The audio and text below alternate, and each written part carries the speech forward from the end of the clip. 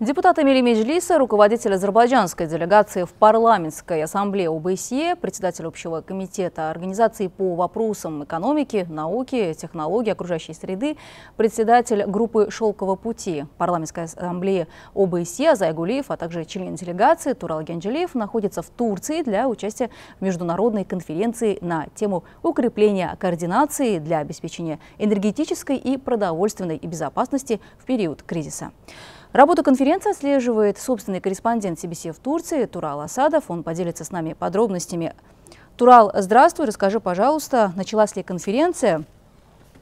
Добрый день. Да, конференция продолжает свою э, работу и Первое заседание уже завершилось, э, в рамках которого выступили э, как наш представитель э, Азай Гулиев, так и другие участники конференции. И была подчеркнута важность деятельности группы «Шелкового пути» парламентской ассамблеи ОБСЕ последнее время, когда э, в мире э, происходят э, разного вида катаклизмы, в частности, кризисы энергетический и продовольственный. Эти две темы являются сегодня главными и важнейшими для обсуждения участников конференции, и они пытаются обсуждать эти вопросы и найти ответы на некоторые из них и подчеркивать важность укрепления сотрудничества в этом плане, так как война в Украине э, э, стала причиной все новых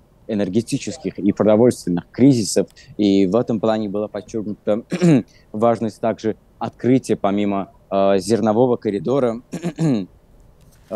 для Украины, также и поставок российского зерна и, и удобрений из России в разные страны мира на мировые рынки, что поможет Э, э, убрать последствия этого кризиса. Э, в частности, представитель Азербайджана Азай Гулиев также коснулся вопроса и энергетической безопасности. Действительно, то, что эта конференция сегодня проходит в Стамбуле, очень знаковое событие, потому что Азербайджан и Турция совместно реали реализуют очень важные, наиважнейшие, я бы сказал, проекты для обеспечения энергетической безопасности Европы. Э, и в этом плане Азай Гулиев э, также отметил эти моменты, заявив о том, что, напомнив, вернее, участникам о том, что 18 э, июля 2022 года в Баку, было подпис... в Баку был подписан меморандум о взаимопонимании в сфере газа между Азербайджаном и Европейским Союзом. И недавние события открытие интерконнектора Греция и Болгария. Эти два фактора являются крайне важными в вопросе обеспечения а, энергобезопасности Европы. И в этом плане Азербайджан и Турция действительно находятся в эпицентре, скажем, событий. И э, в этом плане э, предусматривается наращивание сотрудничества. Э, так он заявил, что в скором времени э, поставки азербайджанского газа в, восточную, в юго-восточную Европу э, в, составит в целом 20 миллиардов кубометров газа в год. А, Но ну, кроме того, здесь были и отмечены, была отмечена важность э,